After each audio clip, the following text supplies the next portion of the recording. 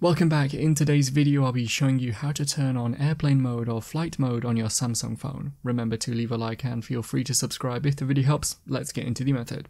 The first way to enable airplane mode is to activate it from the quick access menu.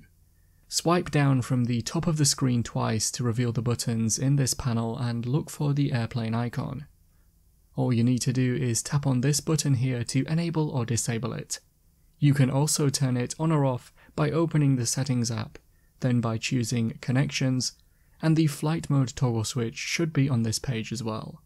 That's how to turn on airplane mode or flight mode on your Samsung phone. Click the card on screen now to watch a video of mine showing you 10 easy ways to speed up your Samsung device. If you have any questions then let me know in the comments below and if you did find today's video helpful remember to leave a like and feel free to subscribe for more tips in the future. Be sure to stick around to see some of my other videos that you might be interested in. Thanks so much for watching and I will see you in another video.